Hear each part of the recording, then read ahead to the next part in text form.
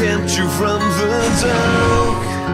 But now I know my wounds are sewn because of who you are. I will take this burning on and become the Holy One. But remember, I am human and I'm bound to sing this song. So.